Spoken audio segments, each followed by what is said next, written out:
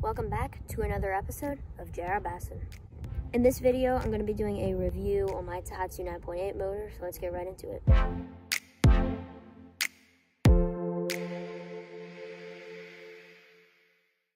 So this motor produces 9.8 horsepower, which pushes this boat about 16 miles an hour. It is a four-stroke motor, so it runs on just straight gasoline. And since it's a four-stroke, it doesn't make any smoke because it's not burning oil, and it also runs very quietly. The startup on this motor is very easy, so what you do to start it up is you just give it a pull until it clicks, and then you give it a strong pull. And it will start right up every time.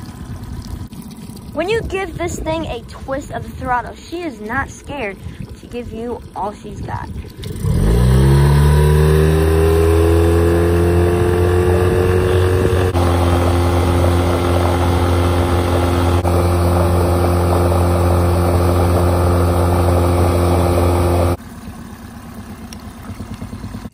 So the controls on this motor are pretty simple.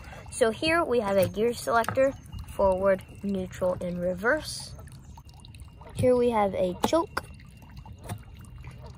Here is where the kill switch lanyard is attached. And this is also the stop button.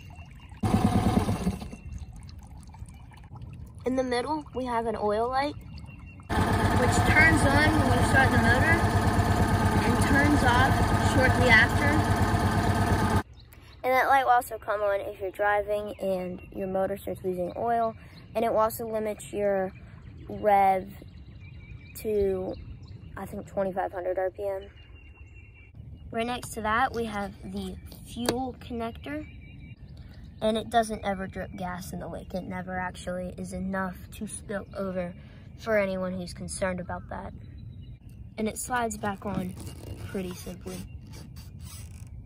If you had an electric start on this motor, the button would be right here.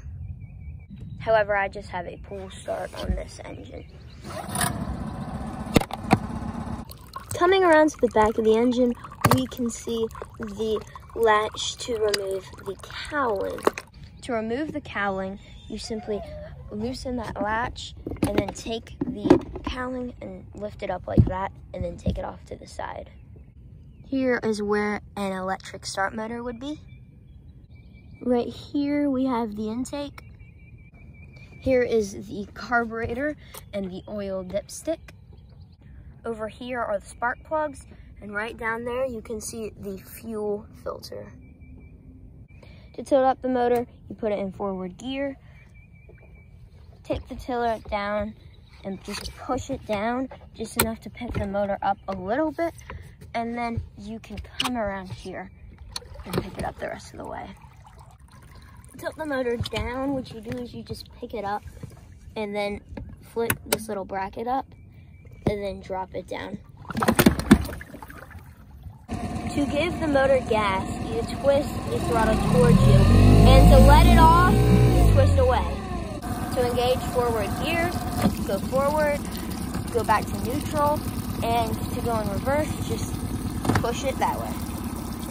Then reverse, neutral, forward. So to make the lower unit last longer, you don't want to slowly shift in the gear.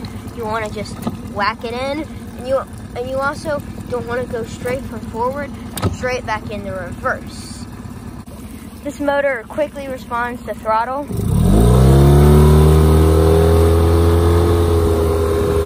The motor is held on with clamps. However, if you want to, there is a bolting option if you can see it right here. So that concludes my review of this motor. It runs pretty good, as you can see back there, and I like it a lot, and I definitely recommend it on your boat. Thank you guys for watching this video. If you enjoyed it, please subscribe to my channel, and I will see y'all in the next episode of J.R.